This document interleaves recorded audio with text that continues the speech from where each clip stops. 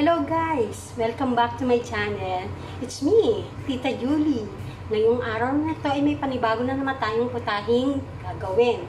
At ito ay tatawagin kong Cad Chorizo Stew. Kaya inaanyayahan ko kayong muli para may panibago na naman kayong putahe na iluluto sa inyong mga mahal sa buhay.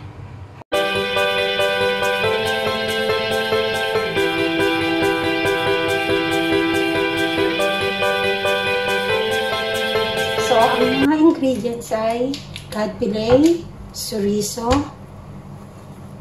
tomato, and black beans, and onion. Ngayon guys, tatanggalin na natin yung skin ng isda.